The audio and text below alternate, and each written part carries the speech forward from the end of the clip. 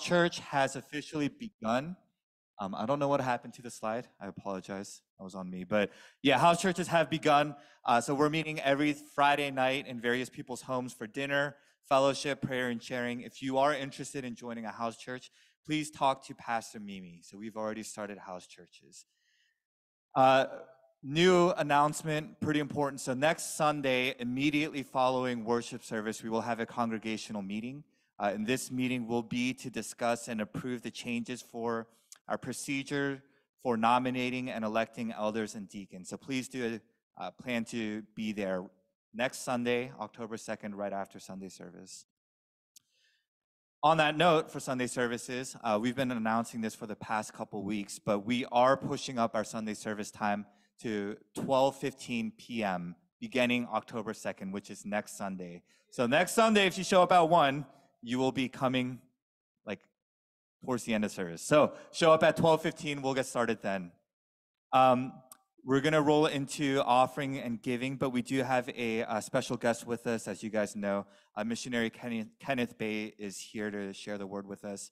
Um, and today you can give on the Church Center app for the uh, missions giving as a special offering, and all of the proceeds if you choose to give, we'll be going to missionary Kenneth Bae. So that option is available. So at this time, we'll continue worship through giving. Uh, you may give electronically, and we do have an offering plate for those who want to give physically. So let's do that. Let's go into a time of giving.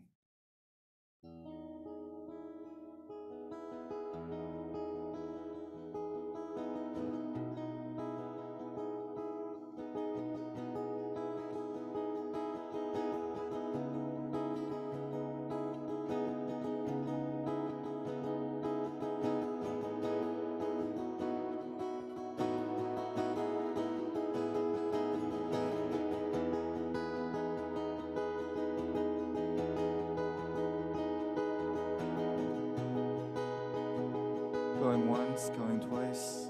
Anyone else want to give? All right, let's pray. Father, we thank you for this house. We thank you that you are good, that you are Lord. And so we come and uh, we just ask that you would come and bless uh, the small loaves of fish and, fish and bread that we have, God. We ask that it will multiply for your kingdom. And so we worship you through our giving. We love you. It's in Jesus' name we pray. Amen.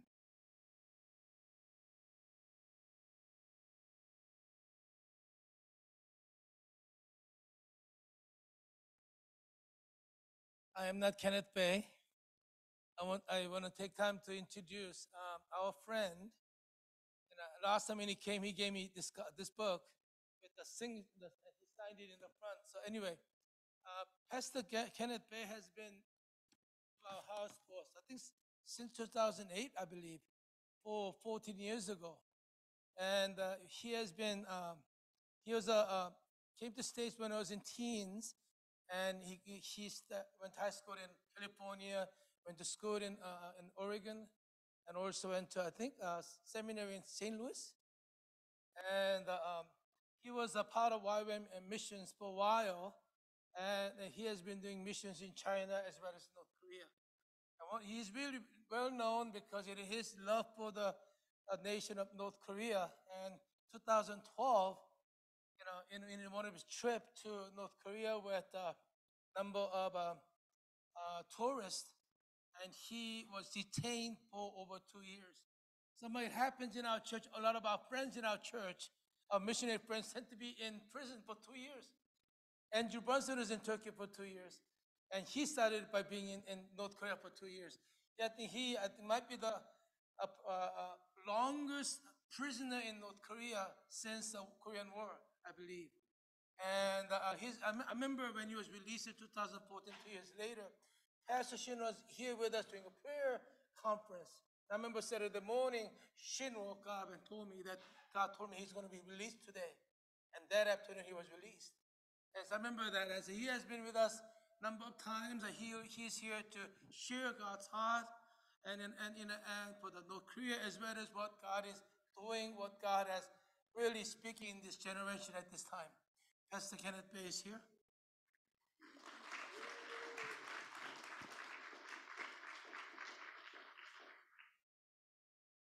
God is good all the time. God is good. Uh, I do believe the last time I was here at Hope was 2008.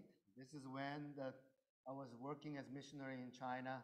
Uh, and then I think after that, the 2009, some of you have visited, you know, people, uh, us in China. We have done our ministry together. But it's amazing that I'm able to stand here uh, with you, in front of you, uh, testify what God has done in my life and what God is doing right now in North Korea. Um, I was just just like Pastor Q introduced. I was born in South Korea, but our family moved to the United States when I was 16. So after, th- so I went to seminary and so on. But I ended up in YWAM Kona, and then went to be a missionary to China and so on.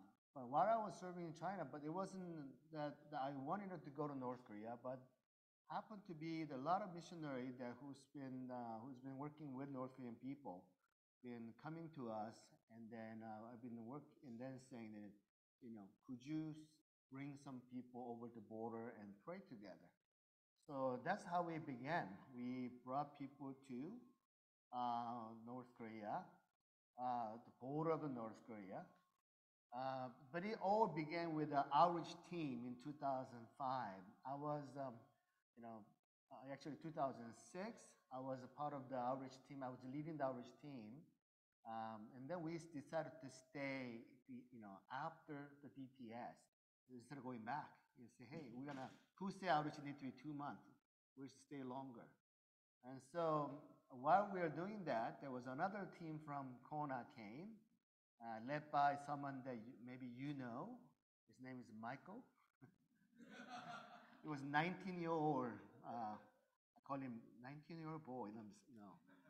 He was 19 year old, but he was leading another four 19 year old team. There was like a team of four or five.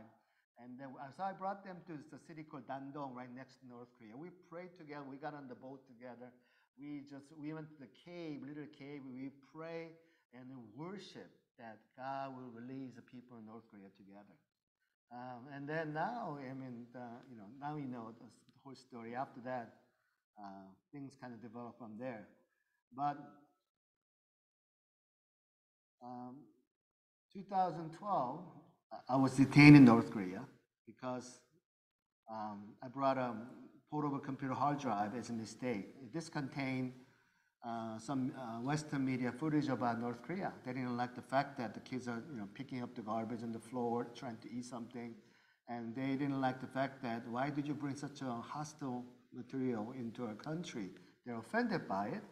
But in this hard drive also contained all my mission support letter, all the report about North Korea and China. So it's a matter of time they discovered, they will discover that I'm my true identity, not a tour guide, but as a missionaries.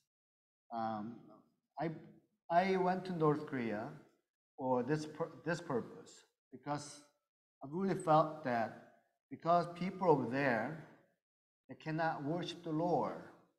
So we as a worshiper go to North Korea, pray for the people in North Korea, and worship in behalf of people in North Korea, and love them as Christ loved us, and claim the land for Jesus. What will happen to this uh, nation, this city that we're about to enter in? So uh, I decided to um, bring 300 people, intercessor from around the country, to North Korea within a one-year period of time, 2000.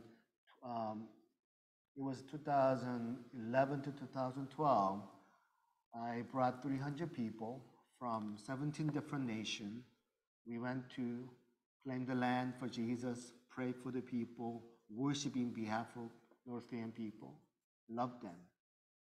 Uh, so that went on, and then we went everywhere inside of North Korea. I've been to most most part of North Korea, and then I was detained. I was taken to uh, by National Security Bureau, and I was interrogated day and night.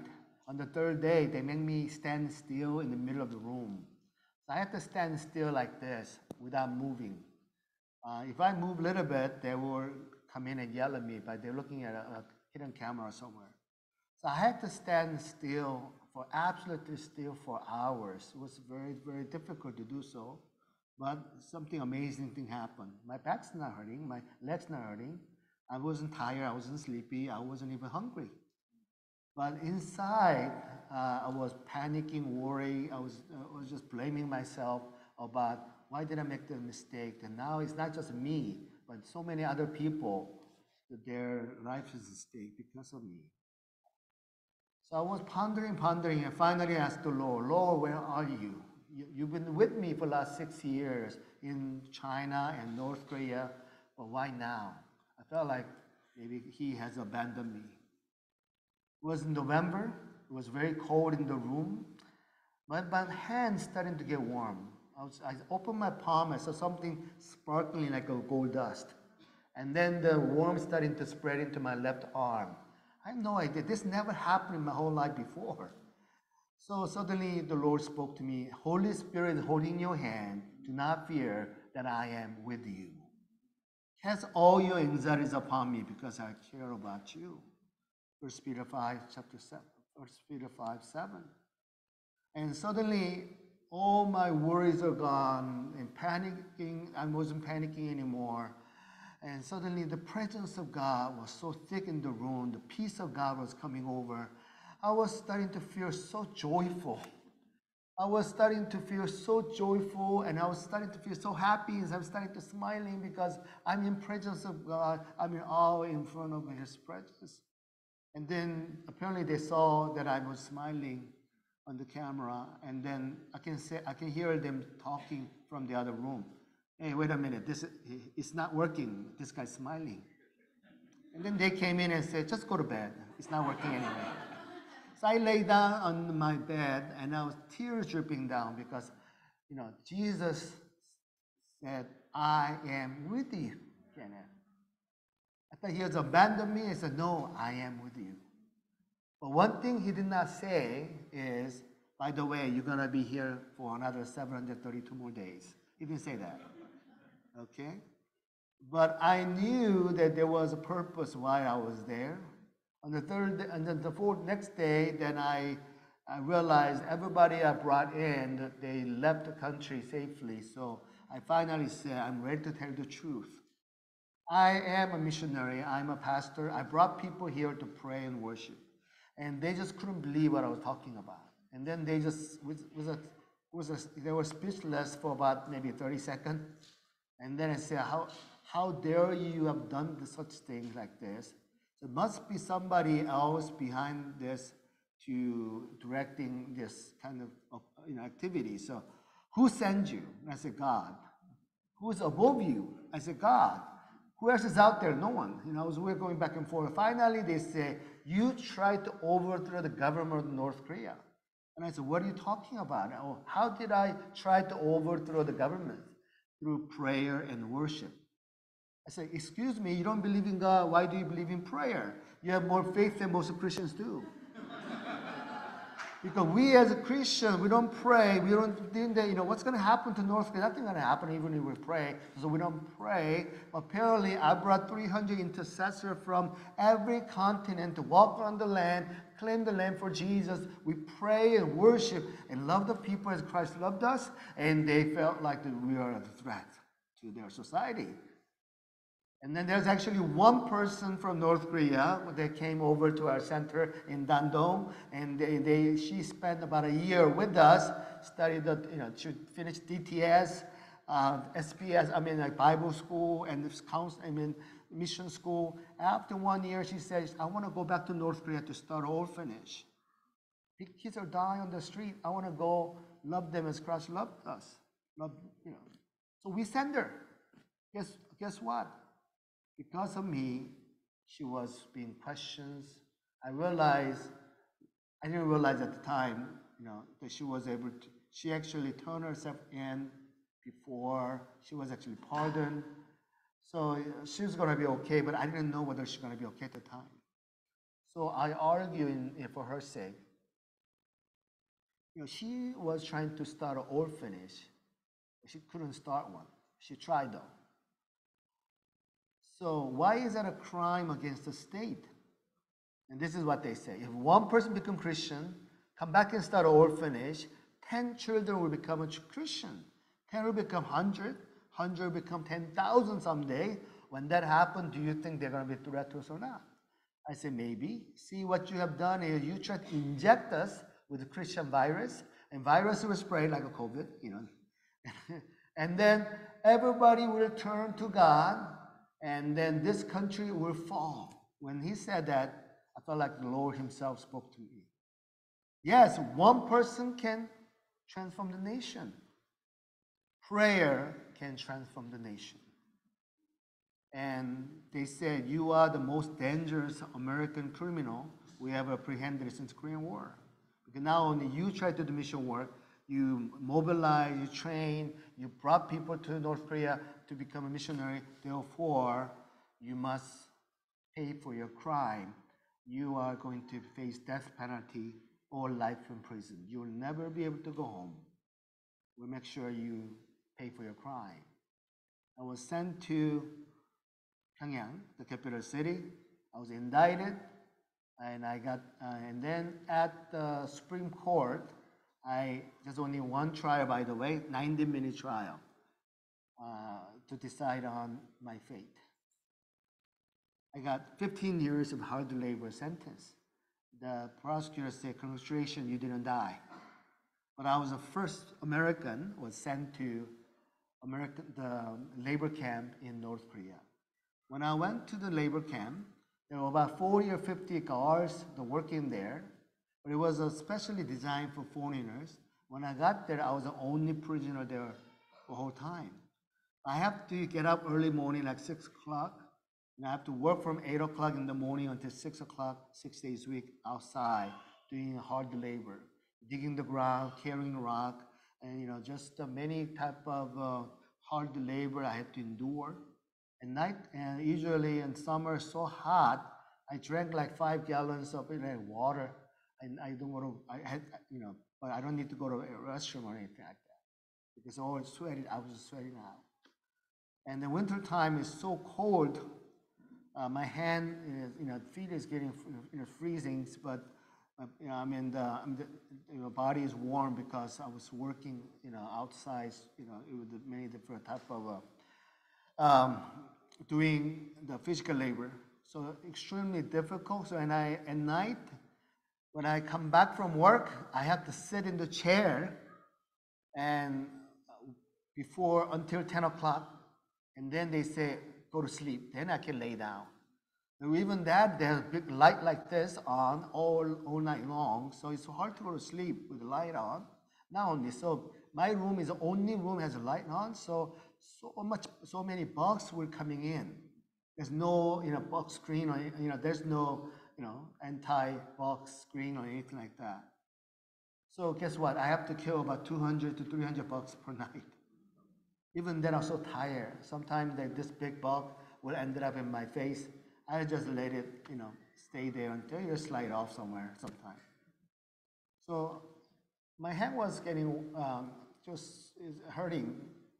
Um, so I have to get up every hour, shook my hand for about 20 minutes, and then go back to sleep. And went back to sleep and going back and forth like this. So suffering was real. So I finally asked God, Lord, how long will the suffering will last? You know, you say on the third day, you be my rescuer, you are with me, but I'm the one, first one to go to the, you know, uh, I'm in prison, labor camp, I'm about to die, you know, any time. So I said, how long, O Lord? The Lord said, Kenneth, even suffering is a beneficial for you. But he said this, but my grace is sufficient for you. Would you turn to your neighbor and say, God's grace is sufficient for you?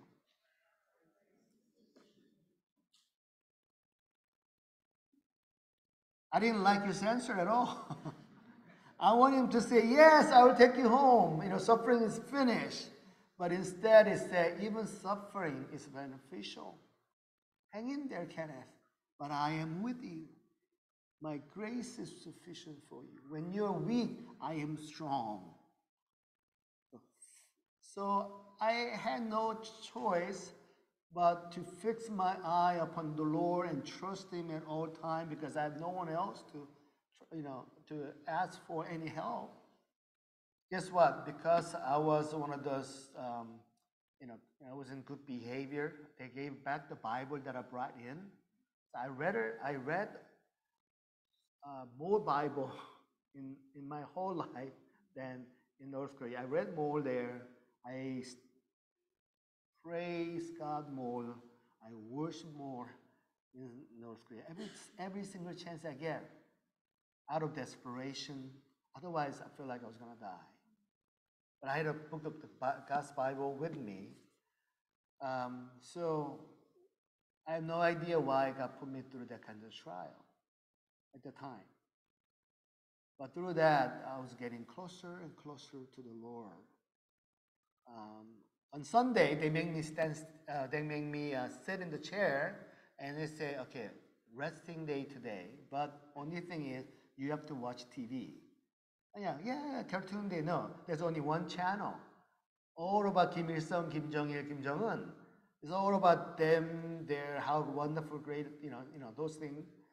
So, oh, I have to watch it like 14 hours a day. You know, just if I better, I rather want to go out and work than doing that.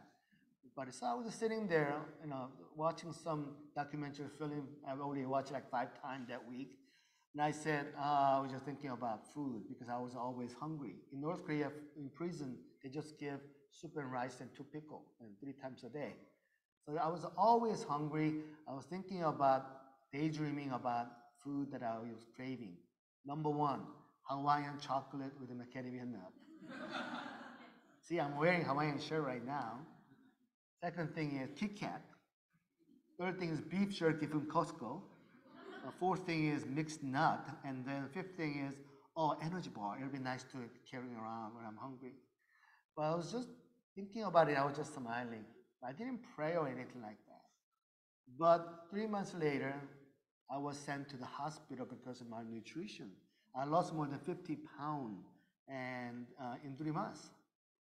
So I was in hospital recovering for several months, and then my mom from Seattle, Washington, came to visit me. It's the first time ever North Korean government is allowing family member to come and visit the prisoner. So we had a uh, emotional reunion. Imagine, you know, your son is in North Korea, uh, was in prison, but now is hospital because of malnutrition. It's just a, a very, very emotional reunion. So second day, she came to see me. We're talking. Oh, she said, "Oh, by the way, I brought you something." She opened her bag. First thing she took out was Hawaiian chocolate with macadamia nut. Second thing was Kit Kat. Third thing was beef jerky from Costco. Fourth thing was mixed nut. Fifth thing was energy bar. She didn't bring anything else for food. I didn't pray. I didn't ask my mom. I didn't call my mom and say, I want some of my chocolate. I didn't do any of that. I didn't tell anybody about it. Actually, I forgot the fact that I thought about this. This was five months ago. Apparently, God remembered. Our God is good God. Not because He gave me chocolate, because He said, Kenneth, I care about you. I am with you. It's almost like I created, I created it you. I made you. So I know the craving of your heart, even though the craving of your stomach. so, Kenneth, I am with you.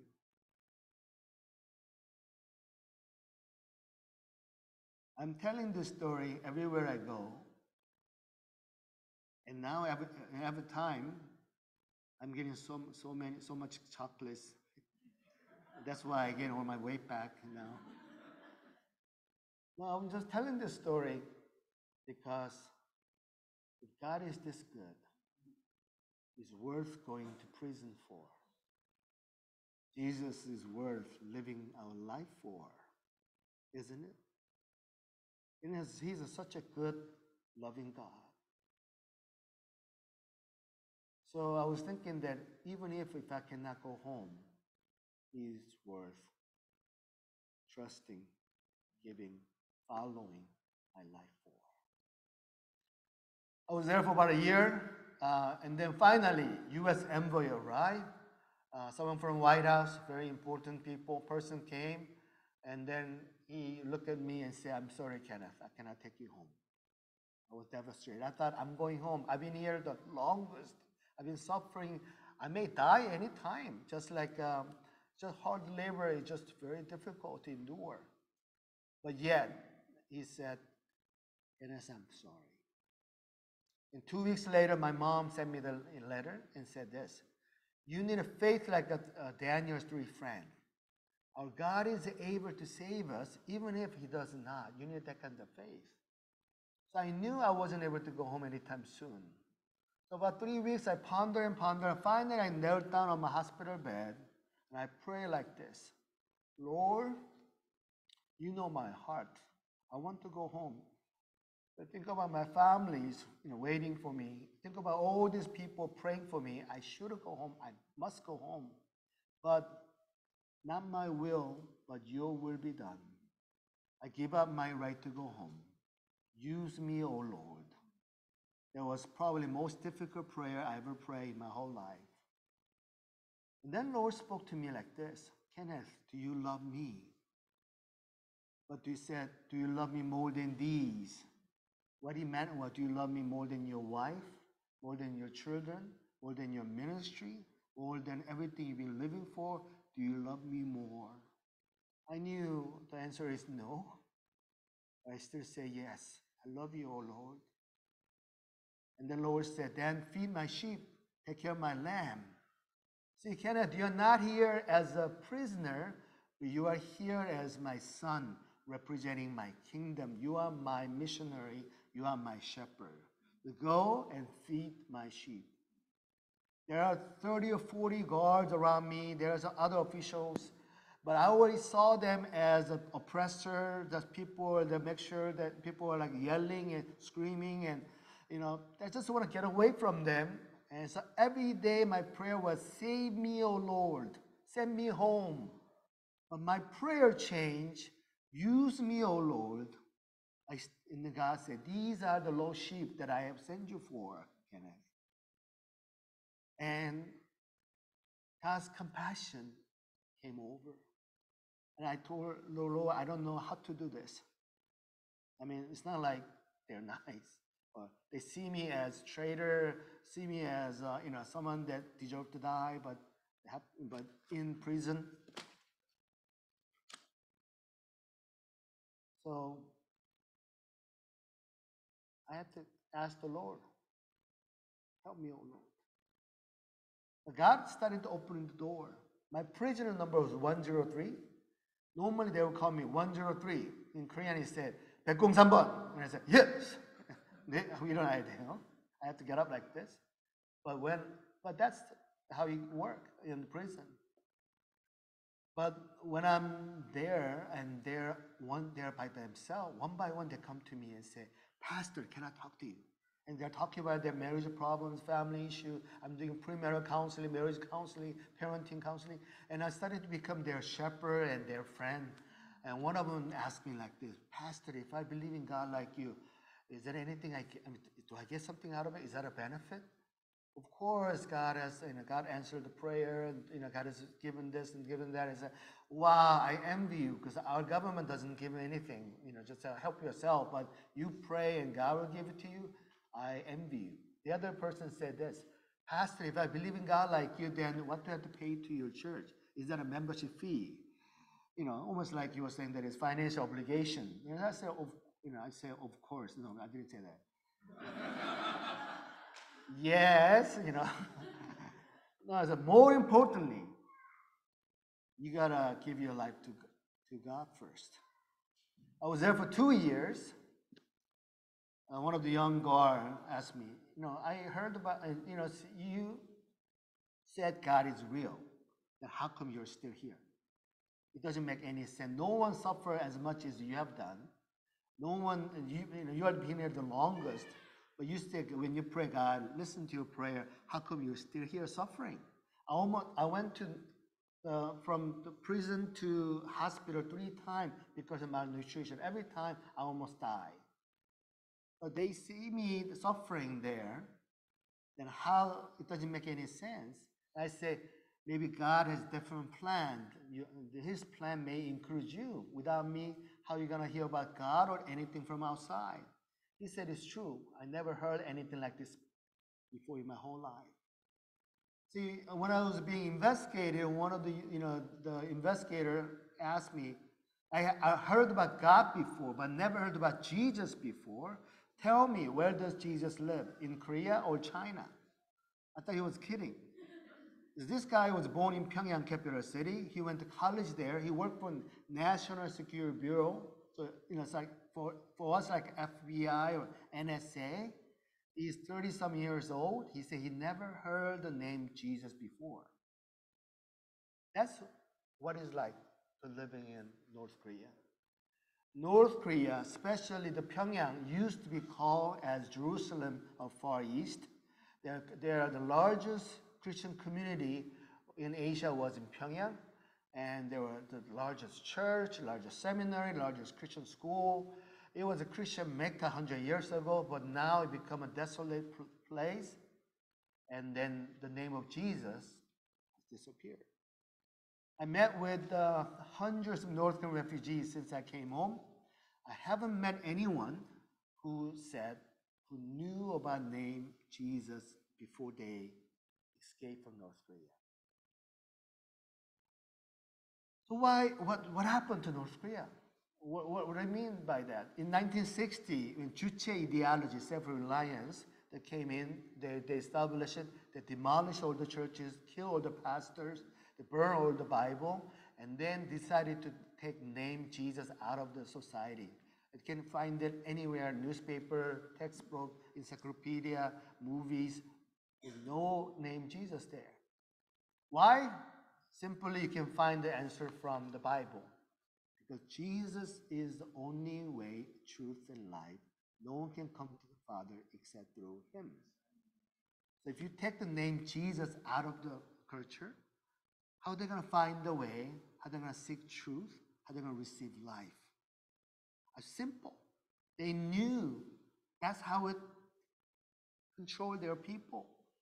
You know, become use them as a slave, bondage, and sin, and suffer, and control. And then what? And they die. They go to hell. That's what it's been like last 60 years, guys. But I was there. I was the only one knew the name Jesus. No one knows. But I cannot preach the gospel to them because if they say, I want to believe in Jesus too, then they will arrest him, arrest their children, their parents, three generations to be killed. That's the penalty for believing in Jesus in North Korea. Because they see it as more political crime, because they can only serve their living God, which is dead God, which is Kim Il sung. And if you serve any other God, then you are traitors. So I was there. I cannot preach the gospel. The Lord reminded me this um, illustration that I learned when I was in seminary. It's about this, uh, you know, missionary who was serving in remote village in India. But this is a tribe that has a different, you know, the different uh, the language than the majorities. So he had to learn this their, their tribe, you know, language. But it was so difficult to learn. So he was there for three years. He just couldn't speak enough to share gospel. Five years, seven years, ten years, not much that happened. So the church said, "Why don't you come back?" And then they sent another person in his spot, in his place. And this young man was very gifted in, the linguistics. So after three years, he was able to speak and he was confident to share the gospel. So he got everybody together. All the village people got together, and then he shared the gospel for first time.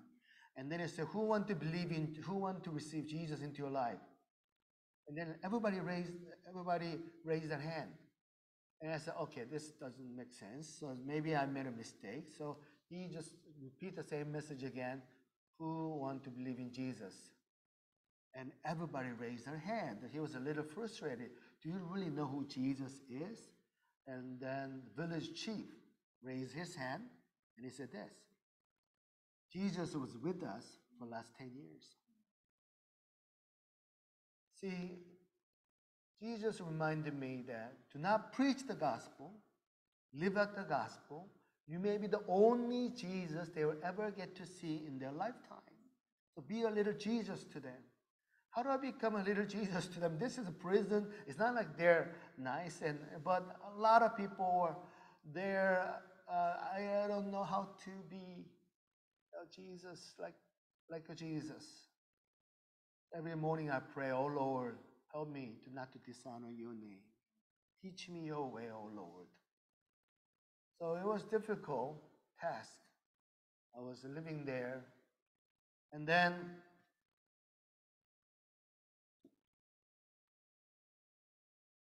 and then um, one day, another good news. In two days, U.S. envoy is gonna come. So get ready to go. You are about to set free. And I say, finally, freedom. And I was, I was just rejoicing. I was telling everybody goodbye, and I say, thank you so much. And I even sang a s- farewell song in Korean.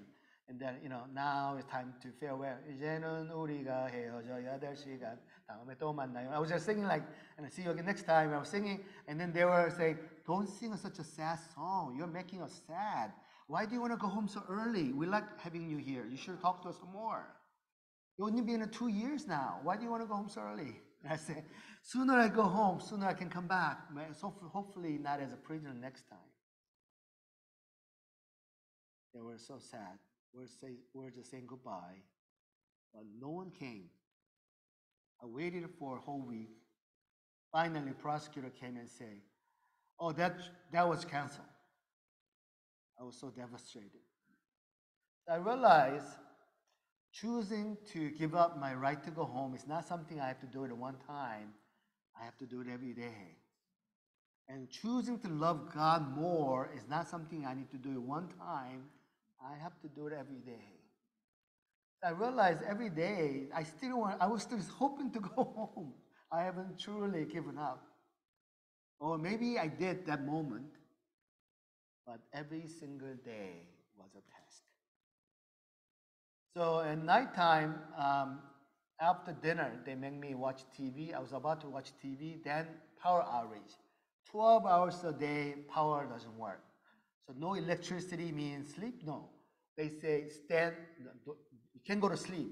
It's so dark, no light or anything. I still have to sit in the chair and make sure that let them know that I am not sleeping. So I can, I said, can I then sing a song? And then that's how he began. I'm starting to sing uh, the praise song to the Lord. Uh, because I don't have a, you know, hymn books, I cannot read uh, at the time. So all the songs that I sang in my high school uh, youth group days, you know, there's, there's none like you, I love you, Lord. You know, all those in moments like this, all those songs, you know, 80s and all the songs that I was, and I can remember singing, and even sing, I sang a, this hymn, and then the verse saying like that, whether I live in the shack or palace, if Jesus is with me, this is where heaven is. If Jesus is walking with me, this is where heaven is. So I changed the lyrics sometime. Instead of shack and palace, I say, uh, whether I'm living in the prison or in the hospital, if Jesus is with me, this is where heaven is. I'm singing the song softly, but because this is countryside, everybody can hear the singing of American prison. So I feel like I was having a you know, you know evening concert every night. I had like 40 audience, you know, they're like, you know, sometimes they just clap too, you know. You know. I can hear them, you know, talking, and then they say, it's very strange. They say, hey, we are the guard, you are the prisoner. How come you look happier than us? Where does your joy and hope come from? And I say, come from God. Who is this Jesus you are singing about, making you so happy? It doesn't make any sense. Who is this Jesus? When I left, the warden of the prison shook my hand, and he said only one word, see you again. And he had tears in his eyes. I knew that God has done something during the time in the prison of North Korea. See, when I left, uh, right that week, this is what happened. November 3rd was two-year anniversary. November 1st, on Saturday, prosecutor came to see me and say, hey, you on, you've been here for two years, now you only need to stay 13 more years now. 13 years later, you'll be 60. We'll celebrate your 60th birthday together. No one is coming for you, you've been forgotten. You've been abandoned by your government, so you're doomed. And then he left. So, but he said this every Saturday at 3 o'clock for last one year, 52 times. So I nicknamed him Mr. Disappointment. when Mr. Disappointment come, I get disappointed. Doesn't matter. I read the Bible, I praise the Lord, I say, I fix my eye upon the Lord. I still get disappointed because I'm a human being. I'm weak.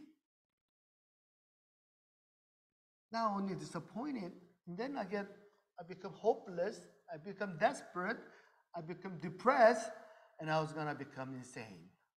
So I had to choose every time whether to listen to Mr. Disappointment or listen to the Lord, who have given more than 70 verses, and then more than 450 people around the world sent me a letter and said, Kenneth, you are not forgotten. We are praying for you. We're worshiping uh, you know, in behalf of you, and we are remembering you, Kenneth. Some of the people in Maryland, including the people from some of the people Hope, and and uh, Pastor John Lee's church wrote me a letter. So I knew who, although they, they couldn't say that their name because they don't want to be tracked down or something, but it has actually a different code on it. I, I can figure out who that person that was. But it was truly word of hope. Yes, people out there are praying for me. They're remembering me. So so I had to choose. But because I'm a human being, I have to go to the in the bathroom, looking at the mirror, and remember who you are. You are a missionary. You are here for the reason. Then I said to myself, looking at the mirror, my name is Kenneth Bae. I'm a missionary. I probably have to say this more than 100 times during the time in North Korea. I have to remind myself my identity. I was there doing what God called me to do. And knowing that there's a greater purpose for, for me to be there. On Monday, November 3rd, two year anniversary, Lord woke me up early. And then he said, Kenneth, open your Bible to Zephaniah chapter 3, verse 20. I never heard God's word, God speak to me like this before. I have no idea what that was. I opened my NIV Bible and it said, I will bring you home. It was Monday. Friday, U.S. envoy arrived, November 7th. November 8th, I came home. And Director of National Intelligence came to get me home with 20 some other officials uh, with a big plane, U.S. government plane, say United States of America. And then as I was in the plane, I was coming home, and then and I told the people that on November 3rd, on Monday, God spoke to me that He will bring me home. They were so shocked. We left Washington, D.C. White House November 3rd. So God spoke to me, God sent U.S. government plane over. So I so now I'm telling people I, President Obama knows my name because he's the one that sent people to get me home. But more importantly, Heavenly Father knows my name. Heavenly Father knows your name. Every single one of your name is written in heaven's special book. So on the way home, this is what the Lord said, Kenneth. You know how many people around the world pray for you? Millions people pray for you, Kenneth. They haven't forgotten you. And I have not forgotten you either. And I haven't forgotten 25 million North Korean people either. So go home and tell the world what I've done for you. And tell them because they remember and pray still with me, prayer was answered. I was released. I was able to come home. In the same way, if we this people decided that they okay, we will pray for people in North Korea, remember them and stand with them. God will listen to the cry out of the people around the world and answer the prayer. I will bring them home, Just- and then restore them, rebuild their life. And God has, that's the message God has given. So since then, then I came out and I travel around the world and share my story like I was sharing just now. And then after the message, somebody in the audience come up to me and say, Ken, Pastor Kenneth, I pray for you. I pray for you. Uh, Cambodia, El Salvador, and, and all Germany, and everywhere I go in El Salvador, nine-year-old boy came up to me from the small village, and he said this, Pastor, when I was five, I prayed for you for every day for two years. Why would a boy from El Salvador uh, pray for me every day? I went to Brazil, and this this time then it was about ten thousand people were gathered, and I was preaching to them. And afterward, that uh, one of the grandmother on wheelchair came over. Uh, somebody brought the, wheelchair, the, the you know grandmother in the wheelchair. She said this: "I'm 103 year old, but I have to confess that until this moment, until today, I have not prayed for North Korea in my whole life. But because now I have heard you, I will promise you, until I see Jesus face to face, I will pray for, remember North Korea every day in my life. Until I see Jesus. So I realized that is why I was in prison for two years and five days. When I came out, you know, it was televised in CNN, BBC, in ABC. All outlet was uh, it was live. Kenneth Bae is arriving. So, so, um, so many cameras were there. I had to make brief statements, and then next day, you know, um, just uh, they thought that I was going to show up at my sister's church. There were like hundreds of cameras that was there, and but you know, all kinds of stuff was happening. So so when I got, when I, next day when I went to Starbucks with some of my friends, everybody recognized me. When I was walking on the street, people honking the horn and say, Kenneth, welcome home. It was just crazy. So on the third day, I had to put sunglasses on and I, with a hat on, with a baseball hat on, and I went to the mall to buy some clothes. I lost so much weight and I needed some clothes. I walked into the mall, and there was um, African American lady. She's you know huge, but she's over there, and she saw me walking in. She started to screaming, "Kenneth!" And I said, I was a little scared, and then she started running toward me. She gave me a big hug, and tears dripping down, and she said, "Kenneth, I prayed for you for two years every day. Why? Why would the people around the world pray for me? I'm not that special." I didn't do that much. What did I do? And I realized two years in North Korea was beginning of something. God was doing something. And I have some tests to do. Since then, I studied this Nehemiah 1 million prayer petition campaign. We haven't read the scripture here tonight, this morning. We're talking about Nehemiah.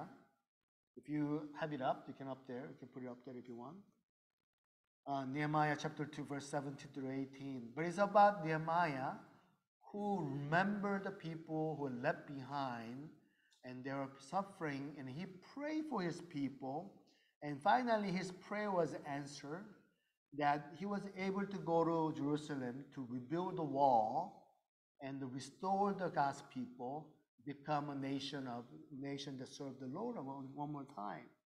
So here is Nehemiah that is saying that is we want to okay you have it up there.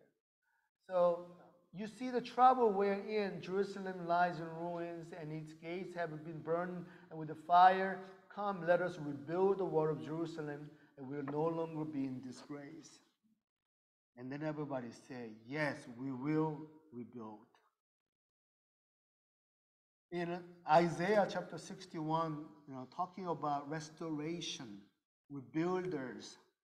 and especially chapter 61, verse 4, talking about these are the people that uh, they will be the one that re- rebuilding, and the places are demonstrated they will they will rebuild. I was thinking that North Korea, no name of Jesus is available. The reason, so I say the only thing that can ha- what will happen is we must to see reunification of North and South Korea, not because of um, uh, nuclear program and different things, but because we used to be one nation, and now only so. That way, that's the only way everyone in North Korea can hear the name Jesus freely without fearing their life. Since then, that I studied this Nehemiah 1 million prayer petition, 177,000 people signed a petition to President Obama and said, please bring Kenneth Bae home. So I came home because President Obama sent U.S. envoy to get me home. How about we do that to our Lord? If we get 1 million people around the world to sign up and pray and lift up, lift, you know, just pray for the people in North Korea, remember them, not looking at the other way for their suffering, what will happen? I started this campaign, so you can go to the website, the pray number four nk.org. You can there's QR codes there. There is a sign up sheets over there if you wanna uh, after the service and you can sign up or just QR code use it and just go ahead and do that you know, digitally. Uh, now we have people from 100 countries, from 1,001 cities. There are people out there and say, they are saying, yes, we will remember, we will stand with and pray for the people in North Korea. So this could, this is, uh, this could be your commitment to say, what can I do, oh Lord? Pray for people in North Korea. If you write down your email address, we'll make sure that we send you prayer updates so you know how to pray, what to pray. And then also same prayer topic is pray among, uh, that we wanted to make sure that by end of this year, we have 10,000 Nehemiah prayer warriors signed up to pray together around the world and globe. And this is one thing that, that I am now in part of uh, doing. And then there is um, a new organization called New Korea Foundation International. This was founded in U.S. We have some people even in DC area are now participating. But this is very important uh, to uh, preparing that, waiting for the, uh, you know, the North Korea government's collapse and seeing and the reunification. So after that, we have to be ready what to do after the reunification. How, how we gonna pro- how we gonna prepare? So we wanted to make sure that we wanted to uh, mobilize people for prayer, mobilize people for training, mobilize uh, finance, mobilize networkings, and then also uh, one of the things that I we are now praying right now is uh, we call it the Hope Center in Pyongyang. Uh, same idea is uh, having a more like a mission incubator, mission uh, compound where a lot of different ministry can use a building uh, and then teamwork together and, and then um, train and, and, and then use as an incubator to start many ministry out of North Korea. So one of the things that this is this kind of things in in right now in motion. Another thing in motion will be uh, getting the Bible ready. Means in North Korea, in um, especially in Pyongyang, there's about one million household. We want to make sure that in North Korea open within the first 30 days, we can deliver one million Bible to every single household in Pyongyang and share the gospel, gospel with them. So we want to get at least one million uh, hard copies and digital copies available and to be able to bring into North Korea and to deliver. Um, and so this is something we are doing, and this is actual Bible. This this kind of extra Bible that we are now um, getting ready to print. Uh, more Bible to be ready to give out, hand out as a gift, uh, so that people can hear and know the Word of God for first time. So just closing up like this, guys. Um, thank you for your prayer. Thank you for remembering me when I was in prison. And as there's many of you, I knew, I, we, we, we knew each other, we were friends even before I was in North Korea. Because your prayer, that I'm able to stand in front of you. Prayer produced miracle. If you want to see miracle, pray. If you want to see miracle, come together as a body of the Christ. And seek God and His Word, and God will speak to you and obey. So now I say this to people suffering is no longer an obstacle in my life, but is a shortcut to enter into God's heart. So trust that even despite the suffering, God brought something out of it. I'm traveling all over the world. I'm going to Germany after this on Wednesday and, um, speaking at different places. But all that, I want to see that God had His plan. And I know that time for reunification, time for North Korea people to be free, will be coming very soon. And so please keep people in North Korea in prayer. Let's pray. Heavenly Father, thank you so much that you are in charge of all things. We love you, so we just wanted to continue to honor you um, and just continue to obey you, whatever you ask us to do, O Lord. So, Lord, O Lord, just like Nehemiah, just like Isaiah have talked about, that we near you are looking for people to become like a Nehemiah for this generation, to rebuild the, the ancient ruins, O Lord. Reveal the people, especially in heaven, no access to name Jesus, O Lord. So we just ask, use us in a special way. We have no idea what to do, but use us and bring your kingdom come soon so that the many life will be transformed. They'll be able to praise you, worship you, and honor you through their life, O Lord. We thank you for the Hope Church. Thank you for what you have done through uh, the ministry here to bring your kingdom to the neighbor uh, and around the world. So we give you honor and glory to you in Jesus' name. We pray. Amen.